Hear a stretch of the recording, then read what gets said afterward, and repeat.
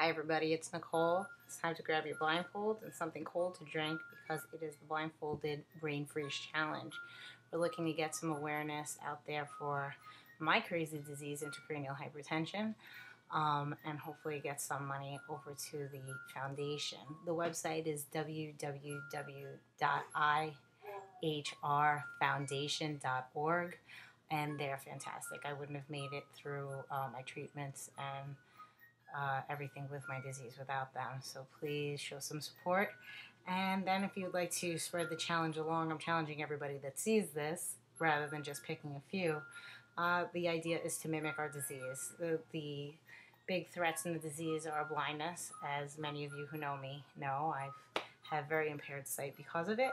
And we get massive headaches, which you guys get a little tiny taste of every time you get some brain freeze. So grab something yummy to drink. I got my Frappuccino from Barnes & Noble, of course.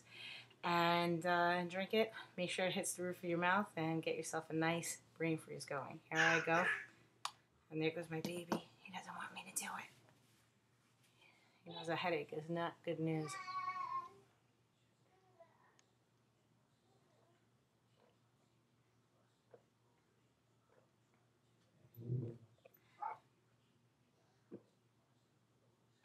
Oh, sweet Jesus. That's hurting. Oh my God. Okay, I didn't finish it. But I'm already getting a headache. You get the idea. I'm going to milk the rest and enjoy it because I've had years of headaches. So I don't need to add any just for fun. But uh, thank you for watching. And thank you for any, um, any goodwill and news that you can get to our cause.